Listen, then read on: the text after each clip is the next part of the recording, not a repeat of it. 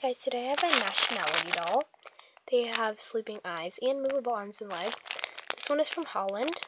She actually has the same face mold and hand mold as this little doll. She's kind of smaller though, but she also has the same shoes, but in a smaller size, of course. But I lost them because I got this way back in 2012 when I went to the Philippines. This one I found tonight at Goodwill for only 99 cents.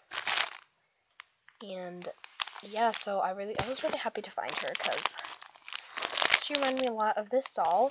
So I cut a slit in it, by the way, so it's easy to open.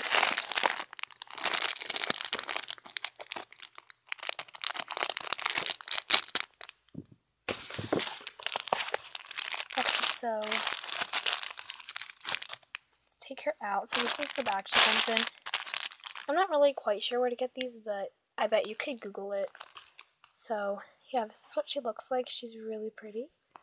And this is her eye color. It's kind of clear. Well, this one is, it's a little bit clear, but it's easier to see. And this one is, like, more clear, if you can tell. She has this white lace hat and this really pretty outfit.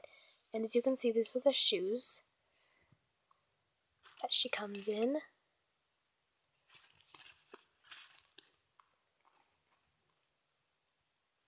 The little bows on it. And I think they look really cute together with all the braids and the same matching bows. And I really like these personally. And I'm really happy about my find. And hope you guys enjoyed. And I totally recommend these. And by the way, you can take off the clothes.